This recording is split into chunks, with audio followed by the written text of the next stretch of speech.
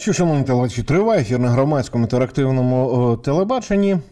І перед тим як я познайомлю вас з нашою сьогоднішньою гостею, я трішечки характеризую тему, на яку ми будемо сьогодні з вами спілкуватись, для того, щоб ви можливо підготувалися і поспілкувалися разом зі мною. І сподіваюся, навіть отримати зможете безкоштовно корисні поради і відповіді на свої проблемні запитання. Власне, будемо говорити про те, що ну погодьтеся, живемо ми з вами в доволі буремні часи.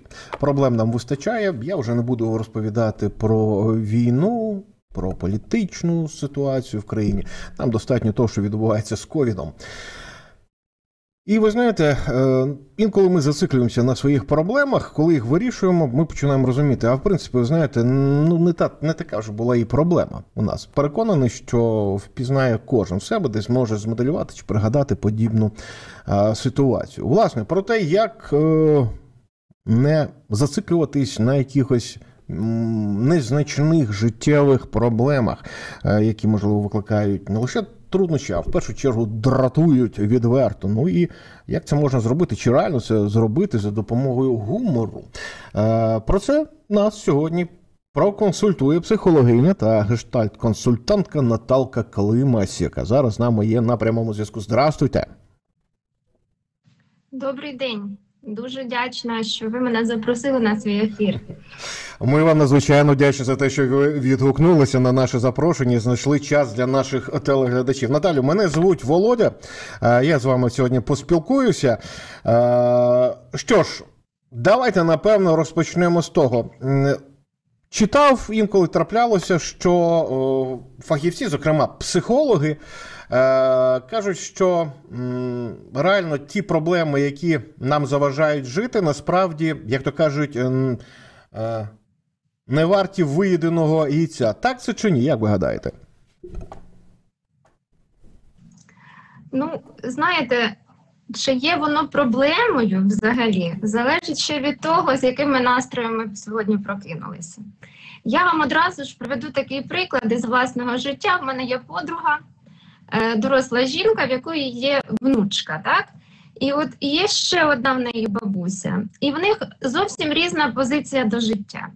В однієї бабусі це така, знаєте, позитивна поведінка, і все, що вона бачить навколо, це тільки із позитивної точки зору. А в іншої бабусі, в другої, ну навпаки, все. Так, от коли одна бабуся, та що з позитивною да, думкою веде в садочок свою внучку, вона каже: Моя дорогенька внучечка, все тут добре, і тут таке гарне меню, і тут дуже смачно готують. І дитина навіть е, потребує добавки да, обіду. А коли бабуся, яка з песимістичним поглядом веде цю внучку до садочка і каже: Потерпи, моя дорогенька, я знаю, що тут несмачно годують. І ця дівчинка, вона е, ну насправді терпить е, увесь е, свій робочий, скажімо так, день і чекає цю бабусю. По суті, вона ну насправді терпить. Тому розумієте, тут як відноситись до ситуації? Чи це дійсно проблема, чи це не дійсно проблема? Е, Тому що це все залежить ще від нашого виховання. От те, що для мене проблема, може для вас е, з точки зору вашого досвіду життя вже не бути проблеми, бо ви вже її пережили. От ви знаєте, в такому випадку було б, от знаєте, нагадує, як підходити до розуміння проблеми. Знаєте, як кажуть, що люди діляться на на, на кілька типів. Одні е, бачать світло в кінці тунелю, інші бачать, що на них рухається е, електричка. Е, треті е, бачать, як то кажуть, двох дурнів, які стоять на колії і чекають, коли до них е, доїде е, ця електричка. Четверті взагалі бачать двох, які махаючи при цьому електриці. Власне, як визначити? Ну знову ж таки, лише опираючись на власний досвід, е, наскільки актуальна проблема, тому що ми живемо, в принципі, якщо по великому рахунку взяти, е, не, не лише з однією проблемою, навіть якщо вона уявна, а одразу з кількома. І е, десь надати пріоритет в їхніх в їхньому вирішенні можна, напевно, через призму бачення, ну наскільки серйозна ця проблема. Як собі дозволити, чи якийсь метод, метода, якась е, розпізнавання от, серйозності проблеми, е, власне, для того, щоб почати їх там вирішувати? Ну, я знову ж таки продовжу з гумором. Як казав один мій лікар знайомий, якщо на жінку отак дмухнути і вона не впала, значить вона абсолютно здорова і сильна жінка. Розумієте? І ось тут е, я розумію, якщо якщо серйозно говорити, то е, розумієте, все залежить від нашого сприйняття е, тієї ситуації, яка сьогодні відбувається в нашому житті. Тобто, якщо я готова брати відповідальність за ту емоцію, яку, яку я сьогодні проявлю до цієї тієї чи іншої ситуації, в такій мірі вона для мене може бути і серйозною. Можливо, я зараз і говорю такі, знаєте, зовсім складні речі, але давайте, щоб було простіше, я, як письменниця-гумористка, вам скажу, що єдине, що може ем, спасти людину ну скажімо, сьогоднішній ситуації тривожності, невизначеності в нашому житті. Це якраз таки такий, знаєте, підхід з комічної точки зору до будь-якої ситуації, незалежно від її складності та рівня е, тієї критичності, з якою людина відноситься до тієї ситуації.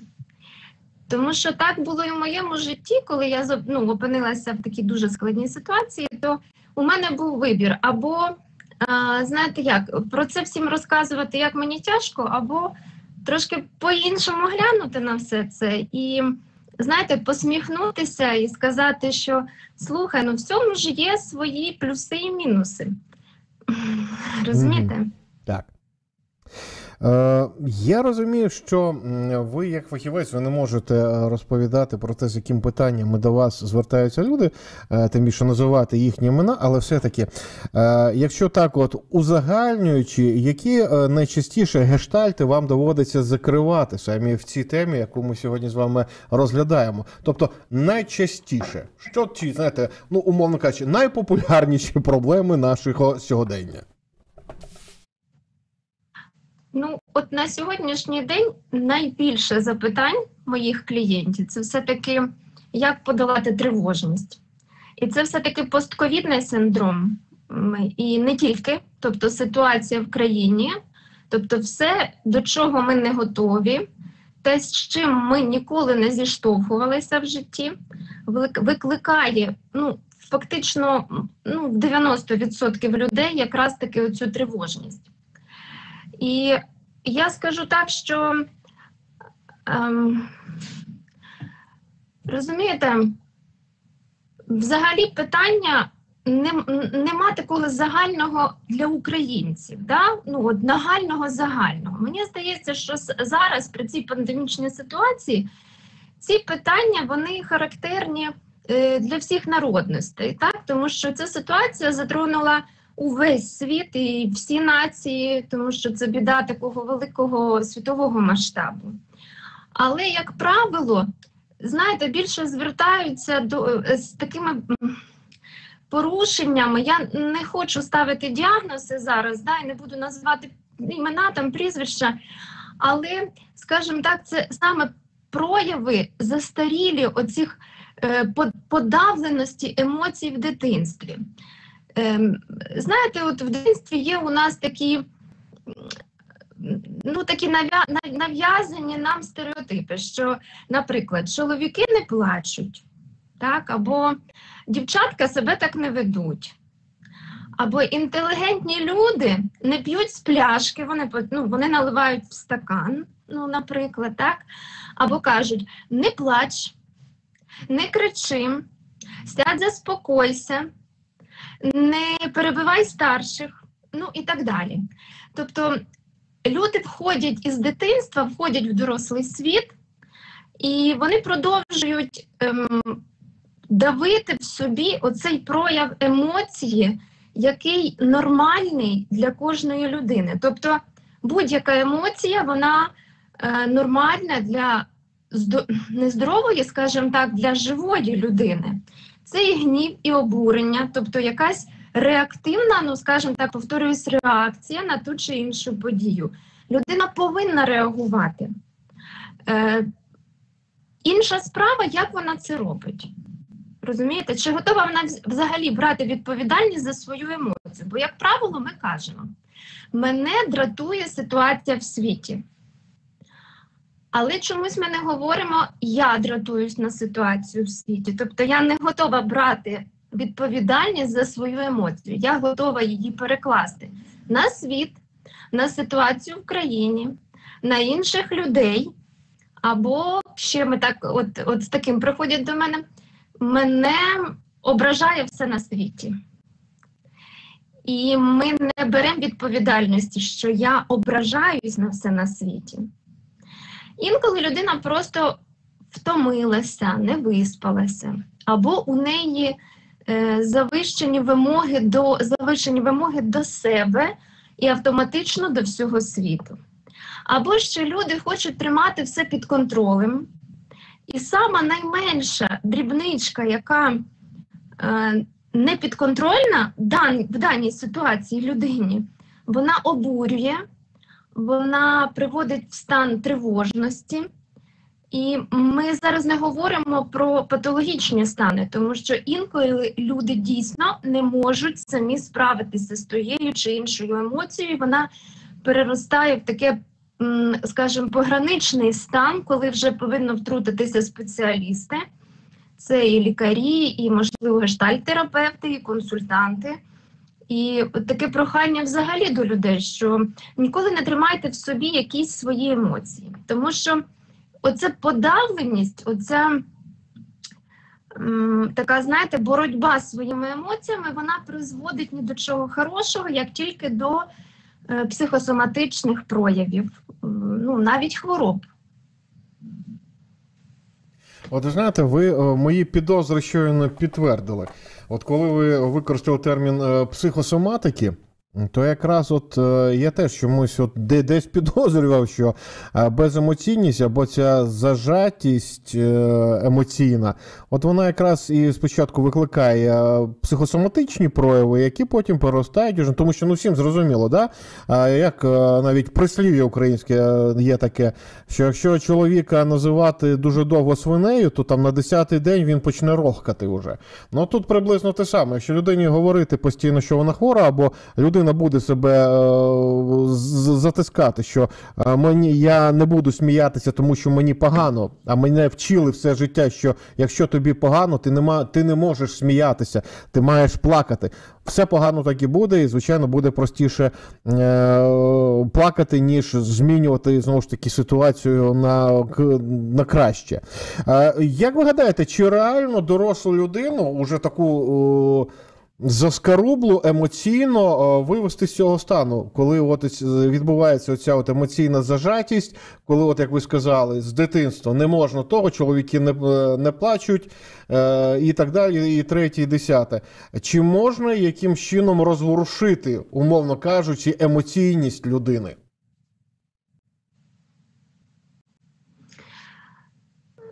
Залеж... Е, знаєте, я називаю от, от цей процес, коли людина Е, не хоче виходити з цього стану, це як, знаєте, курця е, змусити покинути курити. Да? Ну. От він палить все життя, а тут я йому кажу, не пали сьогодні, або завтра ти повинен прийняти рішення.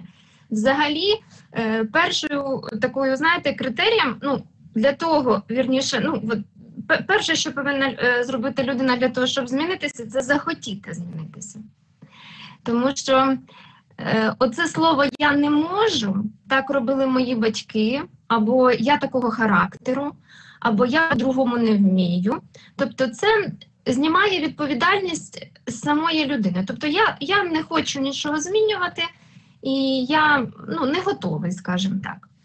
Але ж якщо людина бажає все-таки змінитися і їй некомфортно більше так жити, то все можна досягнути і можна змінитися, якщо пережити все з новим досвідом. Якщо ми говоримо про гештальт-терапію, то це завжди тут і зараз, не розцінюючи і не пропускаючи сьогоднішню ситуацію через призму уже пережитих подій. Або як колись було у моїх батьків, або колись як так, як я колись бачила це в кіно, наприклад. Так? Тобто відкритися для світу, відкритися для нових емоцій. Якщо зі мною вже так раз було, то задайте собі питання, чому це знов повинно зі мною відбутися? Чому все-таки от, оця ситуація, яка колись зі мною відбувалася, і я на неї вже так зреагувала чи зреагував, то спробуйте зреагувати по-іншому. Тобто, в кожної людини є вибір, як їй зреагувати. Людина навіть може вибирати, що їй робити з фізичним болем. Це я так кажу своїм клієнтам, тому що, знаєте, е, людина насправді має вибір. Або вона переживає це і терпить біль, або вона всім м, жаліється на цей біль, і яка вона нещасна, або вона навіть хвастається своїм болем, я теж таке зустрічала в своїй практиці, або вона все-таки шукає рішення, як знайти, можливо, діагноз і та методи лікування цього болю. Тобто я хочу сказати, що перше. Е, це все-таки потрібно хотіння, е, бажання і дія. Дія це все-таки, ну, знаєте, прибрати той досвід, який в тебе колись був, або так, як говорила мама, говорили вчителі, як казав мій кум, кума сусідка, або як я прочитала е, десь в жовтій пресі, так робили всі відомі люди успішні, розумієте? Ну от я пригадую, колись було десь в кінці 80-х, початок 90-х років, е, коли е, взагалі почав е, в обігу з'являтися е, термін е, психолог, не психіатр, а саме психолог. Е, але ну, нібито й давно було, але в нас до цих пір люди ще не можуть інколи плутають поняття психології і психіатрії. Так от тоді були дуже популярними так звані автотренінги. Там казали, що от якщо у вас є якісь проблеми, там занижена самооцінка і і так далі. Там одразу ну, один радянський фільм проходить на на, на згадку, я на прилики жаль не пам'ятаю, як він називається, коли головна героїня ставала перед зеркалом і сама собі говорила своєму відображенню, що вона е, найгарніша і найчарівніша у світі. Таким самим чином вона намагалася десь собі це довести і стати такою. От як ви гадаєте, знову ж таки подібні заняття вони сприяють якимось позитивним змінам? Позитивне налаштування, ну мені здається, завжди воно в якійсь мірі впливає на людину. Ну, знаєте, тут ще е, не можна розцінювати загалом. Тут хтось піддається, хтось не піддається. Але що я хочу порадити, ось то, що от Е, знаєте, не задавайте собі зайвих питань і не намагайтеся все піддавати якомусь поясненню. От е, займіться собою, займіться своїм розвитком. Оту годину, коли ви витрачаєте на перегляд, е, ну, можливо, тих новин, які ну, роздратовують вас, так, або викликають у вас ну, нестабільність, можливо, навіть безсоння, тому що зараз дуже багато клієнтів звертаються саме з безсонням і з тривожністю саме після перегляду випуску новин. Розумієте, ніхто нікого не змушує це ваш вибір дивитися, не дивитися. Візьміть книжку, візьміть, е, відкрийте якийсь фільм, комедію. Е, Можливо, це якісь оповідання, навіть мої. У мене є такі книги гумористичного характеру.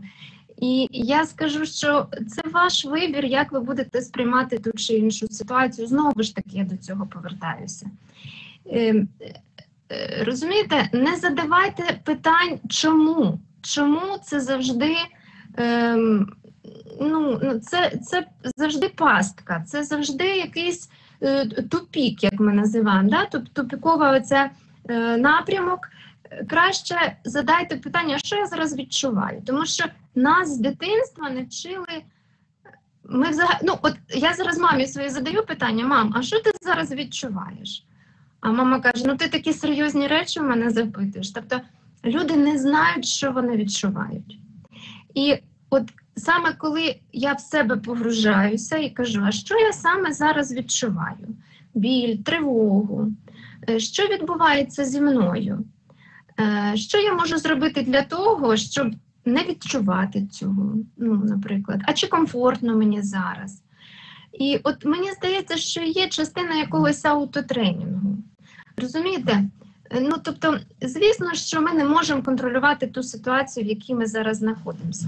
Я звичайно, що можу порадити е, так, змоделювати якусь негативну ситуацію, спробувати її прожити ще раз.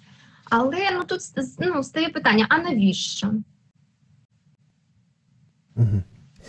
Знаєте, колись е, видатний французький драматург е, Бомарше сказав: я спішу смій... посміятись над усім, інакше мені доведеться заплакати. Е, Власне, ну нібито такий життєве кредо доволі непогане в складних ситуаціях, але я переконаний, що серед наших телеглядачів, так можливо, і в мене самого, дещо такий, знаєте, з'являється скепсис. Стосовно того, що ну інколи ситуації наші е, доходять до, до тих пір, що вже знаєте, як кажуть, ну як кажуть тут у нас, мені вже не до сміху. І е, знову ж таки, це буває, що дійсно реальна якась проблема, а інколи дійсно ми самі себе накручуємо і кажемо, та тут уже тут уже все.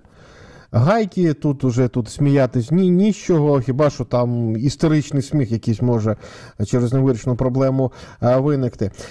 Власне, способи е, себе розвіяти. От ви кажете, ви, ви згадали, тому що нашим телеглядачам ще також е, не скажу, що ви ще і письменниця. Е, Власне, яким чином можна знову ж таки посміятися на свої проблеми? Тому що ну там здається, східні філософи казали, да, що ви не можете проблему вирішити, змініть підхід до неї. Тобто, це серед таких стратегічних можливостей це просто посміятися над нею. Кажуть, що всі страхи втікають від сміху.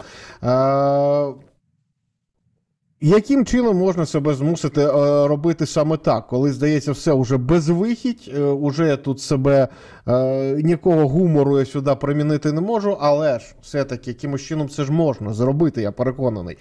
Як би ви порадили? Знаєте, дійсно бувають різні ситуації життєві, і не завжди вони смішні. Ну, звісно. Але ж е, в нас люди дуже часто путають, е, що таке сміятися над собою і що таке насміхатися. Чомусь нам здається, що от нас ну, сміятися це насміхатися. От я і, і ще знаєте таке. Е, Я соромлюся бути смішним, я соромлюся бути клоуном. Я, я це теж дуже часто чую. Колись одного разу в мене така стала ситуація, що я вибила зуба. Ну, от така ситуація. І я почала плакати, звісно, тому що не, зовсім скоро я могла попасти до лікаря.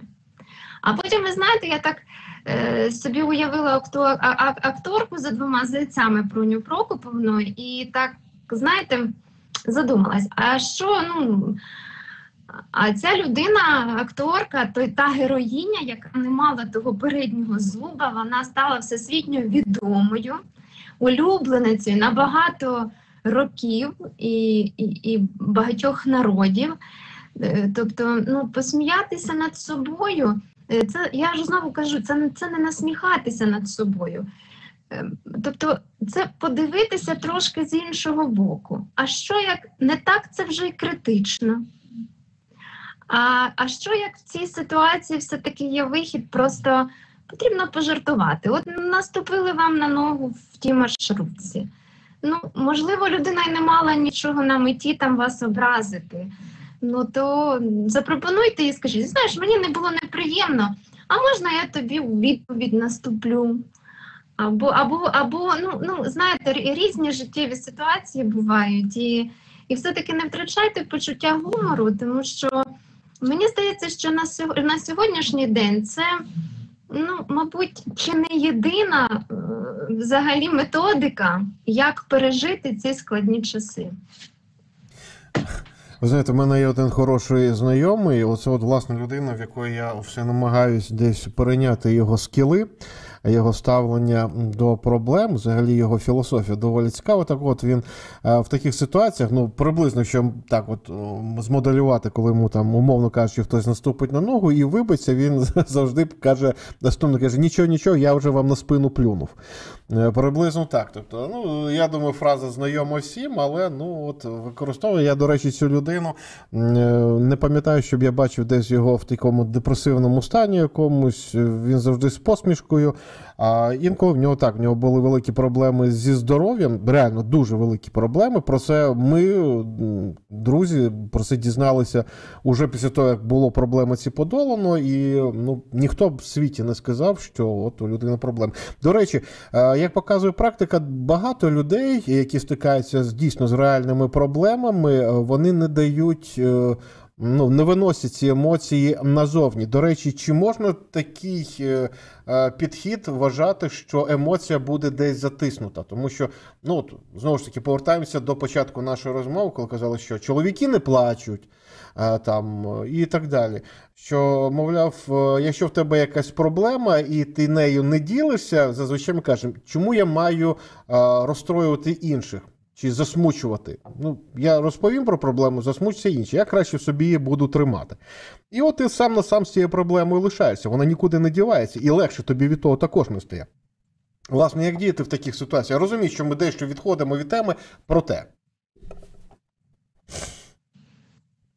Ну, на рахунок, чи подавляємо ці емоції, е, дивлячись, що відчуває людина під час того, як вона захворіла. Я особисто пройшла дуже тяжке захворювання і е, теж е, була в такому серйозному диспансері, де були люди подібні до мене. І я вам скажу, що, як правило, 90% е, із них вони не втратили почуття гумору. Якраз таки той час воно й проявилося в них, тому що. Чи варто ділитися це із е, своїми ближніми, чи кричати на весь світ? Розумієте, е, люди не завжди вміють слухати. Не питання розказати. Тому е, я рекомендую звертатись все-таки до спеціалістів. Якщо у вас є проблема, дійсно, якою хочеться поділитися, і е, і люди інколи розказують це своїм ближнім і натикаються на таке не, ну, недорозуміння, непорозуміння і нерозуміння ситуації. А в принципі, а чому людина повинна це зрозуміти? Вона через це не проходила, в неї немає досвіду, і вона і, і в принципі не повинна цього зрозуміти. Не потрібно вимагати від інших людей е, співчуття. Розумієте, е, людина не може бути емпатична, якщо вона не пережила ту чи іншу подібну ситуацію. Е, тобто я намагаюся сказати, що не потрібно чекати від когось е, чогось неймовірного. І е, чи це не є подавленням? От ви задали мені питання, чи це не є подавленням емоцій? Та здається, знаєте, тут треба розцінювати кожну ситуацію окремо. Тут загалом говорити про те, чи це подавлення, чи не подавлення, тут, е, тут треба аналізувати кожну ситуацію. Так, от якраз я знаходилась в такому місці, коли от захворіла. Це була неврологія, і там були дуже тяжкі випадки, там, де люди з тяжкими формами пар пар Паркінсона, які ходили по відділенню, і, вибачте, ну в переносному сенсі, але вони танцювали від своєї хвороби. Так, от у нас такий був жарт, я також танцювала, тобто в мене було подібне. І ми говорили: дівчата вийшли на дискотеку. І до нас підтягувалися хлопці, ми ходили по коридору і в цьому стані просто ходили і танцювали. То я не не можу сказати, що це погано. Ну, от це таке відношення, і більшість з нас зараз е, дали собі право на нове життя, і ці ми отримали перевчилися, отримали нову освіту, тому що за першою освітою я теж не була психотерапевтом, я мала дуже серйозну освіту з другої точки зору. Я була розробником медичних препаратів, у мене хімічна освіта. Тому не знаю, наскільки я відповіла на ваше питання, але от, от така в мене позиція. Так, я вас зрозумів. Так, е, я почув те, що мені було треба почути. А ви знаєте, на рахунок позитивних емоцій, власне, те, що я у вас на сторінці почав, до речі, шановні телеглядачі, рекомендую категорично, причому рекомендую завітати на Фейсбук-сторінку до Наталки е, Климась. Е, так от, я у вас прочитав фразу. ну, нібито нічого такого, але життя прекрасне, якщо ти в розових очках із любимим собачкою. Тварини. Чи птахи, чи собачки, чи котики, чи ті самі е, мовчажні рибки. Е, наскільки вони е, реально допомагають нам в складних ситуаціях? Чи це знову ж таки із розділу самонавіювання якогось? От е, зараз я з вами розмовляю, знаходжуся в заміському будинку своєму, і в мене поруч знаходиться песик, який хропе. Да, я не знаю, чи вам чутно, Ні, на жаль, ні. а я весь час сижу і його штовхаю ногою і кажу: ну ти даси мені провести цей ефір. Думаю, Не мучте, не провести? мучте дитину, хай спить. Не, е, допомагає. Ну насправді, знаєте, е, тут буває таке, що от ну давайте скажемо так: потрібно захотіти. Ну, тварину треба захотіти. Це дуже велика відповідальність перед твариною, тому що просто так приручити її і не займатися, і ну вибачте, це, це як дитина, і якого треба за собою возити, носити, ним займатися, лікувати, серед ночі вставати, його випускати, можливо, навіть вигулювати. І якщо є потреба в людини у заботі, тому що ми всі складаємося з потреб. І якщо мені потрібно це, тобто, якщо у мене в цьому потреба, то я її задовольняю. так? Я задовольняю потребу свого собаки. Тобто це така взаємозакриття, е, взаємопотреб чи, чи взаємозакриття потреб. Але якщо людина думає, що от вона взяла собаку, песика або мовчазну рибку, так як ви сказали, то вона одразу вилікувалася, всі її негативні емоції зникли. Е, Я хочу розвіяти цей міф, тому що навпаки, інколи при, е, при тому, коли з'являється в будинку собака, особливо в квартирі, коли є маленькі діти, то це таке навантаження на сім'ю і, і фізичне, і матеріальне, і, і психоемоційне, тому що життя до песика чи до котика і життя після появи його це абсолютно різні життя. Хтось е, в цьому м, хтось цього потребує, і знову ж таки я скажу, а хтось е, цього не потребує. І брати песика тільки для того, чи там навіть мовчазну рибку тільки за того, що десь прочитали, що якась там психологиня, типу мене, сказала, що це допоможе. Ні, я не раджу, тому що до, до будь-якої тваринки ми повинні бути готові. Тому що не можна так розцінювати, що це допоможе мені. Е, а чи, чи комфортно буде цій тваринці жити в твоєму будинку? Ось оце головне. Тобто тут треба прислухатись до себе, чи ви готові. Ну і е, якщо ми говоримо про терапію, ну вже терапію з тваринками ми вже так от е, обіграли ситуацію. Е, все-таки хотів би повернутися ще до однієї вашої, е, е, от я не знаю, як це правильно сказати, схильності е, до творчості письменницької. Власне, е, чи можна спробувати, е, не вміючи нічого писати? Ну, я завжди був переконаний, наприклад, що я не вмію писати, хоча довелося потім в результаті працювати багато років журналістом. Е, От, е, чи можна таким чином собі десь е, написати таке щось прочитати, посміятися з того, і воно допоможе? Так, така штука дієва? Так, дієва. Знаєте, ми всі маємо схильність до написання. Просто і, і в принципі ми всі писали в школі твори. Просто тут спрацьовує ось така, е, знаєте, блокуюча система, а чи хочу я оприлюднити це? Якщо я це пишу для себе, це одна справа. Але якщо я хочу це оприлюднити, тут знову ж таки для чого оприлюднити? Порадувати е, людей, розсмішити людей, е, показати, яка я талановита, чи от просто я не можу не написати. От як в моєму випадку, я писати почала, тому що я не могла не писати. І причому я авторка серйозних текстів, і всі мене знають до до гумористичного, е, що я була дуже серйозною, в мене дуже серйозні речі. А потім я навчалася на курсі письменницькому, і у нас було завдання написати е, твір гумористичного характеру. І я написала новели.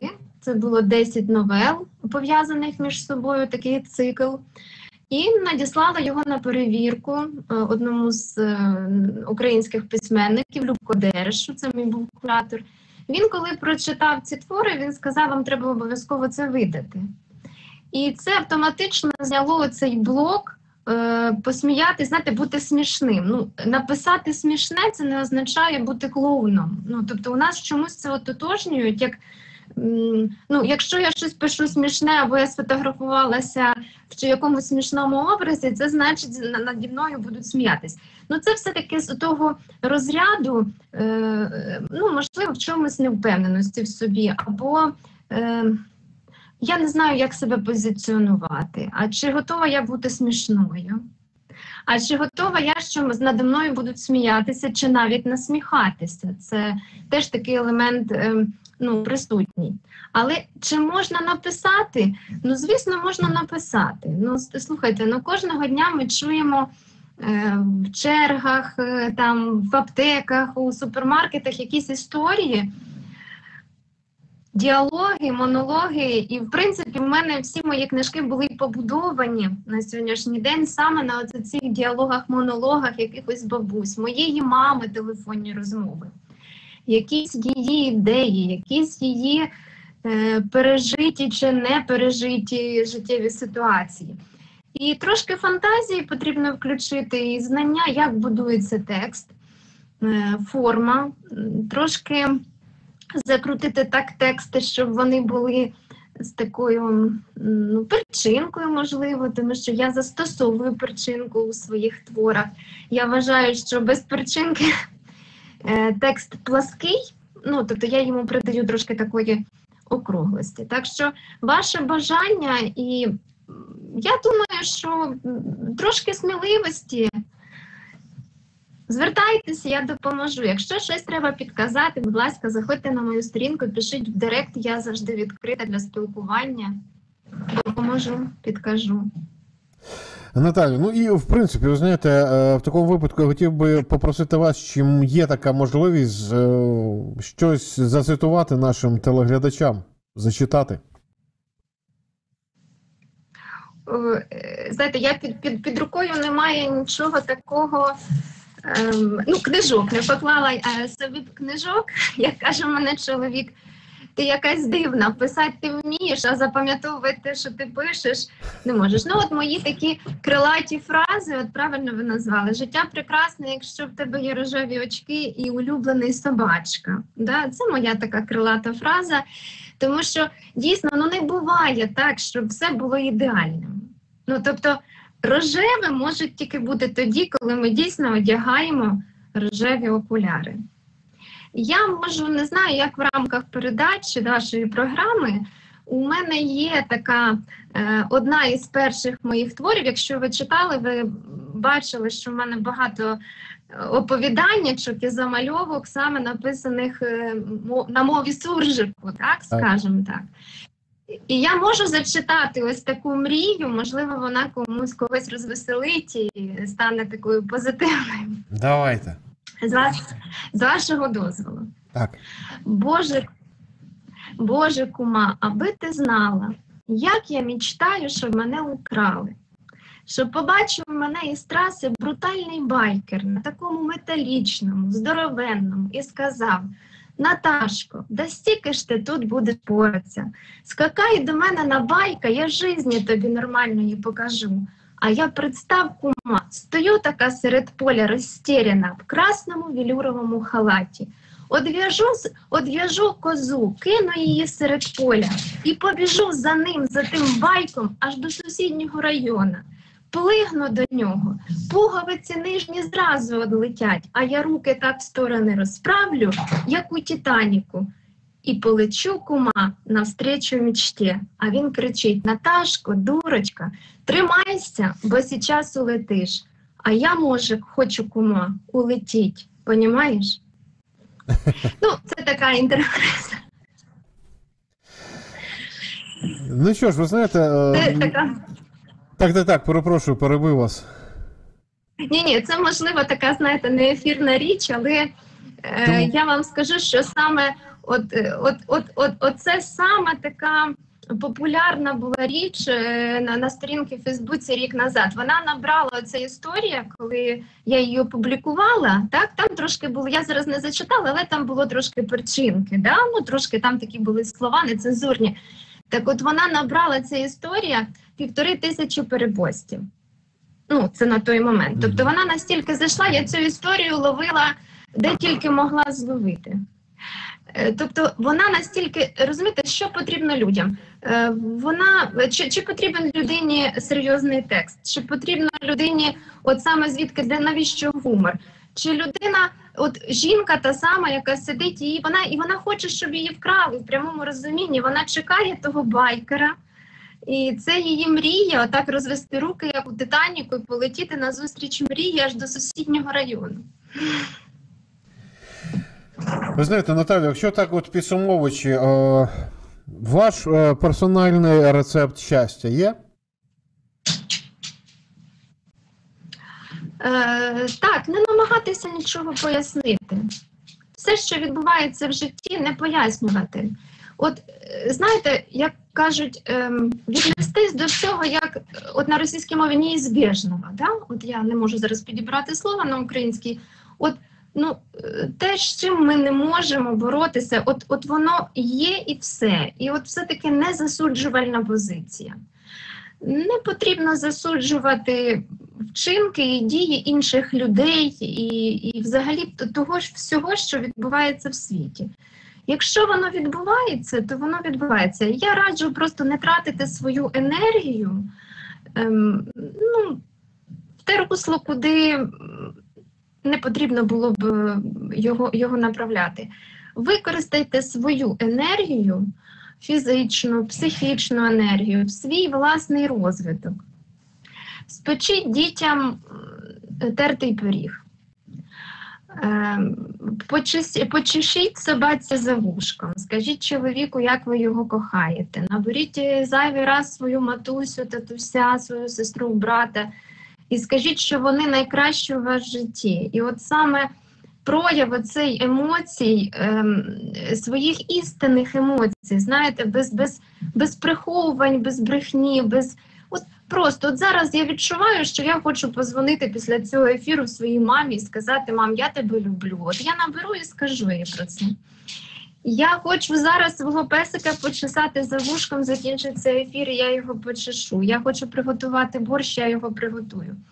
Тобто, які ж життєві такі звичайні речі, які ем, ну, давайте не шукати, не шукати чогось там позапланетного, позаземного, позагалактичного. Воно тут, воно тут на місці.